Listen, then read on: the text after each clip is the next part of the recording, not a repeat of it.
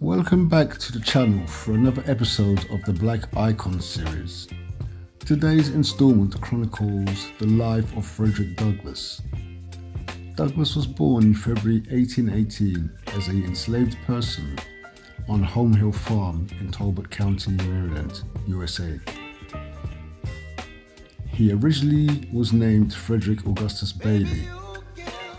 Douglass was owned by Captain Aaron Anthony, who was a superintendent of overseers for a wealthy slave owner and landowner named Edward Lloyd in Maryland. Douglass, like most enslaved children, was separated from his mother at an early age and never knew her, with her dying when he was seven years of age. When he was about eight years old, Douglass was sent to live with Hugh and Sophia Aulds at Fells Point, Baltimore. The two were distant relatives of Douglass's owner. Sophia, even though it was against the law and deeply taboo, taught Douglass to read until Hugh found out and put a stop to it, apparently saying literacy would spoil a slave. In January 1833, Douglass was leased to a local farmer, Edward Covey, who had a terrible reputation for harsh treatment of his slaves. Inevitably, Covey and Douglass came to blows after six months. Covey attacked Douglass and he fought back in a two hour struggle, which Douglass won. This incident left him determined never to be a victim of abuse again.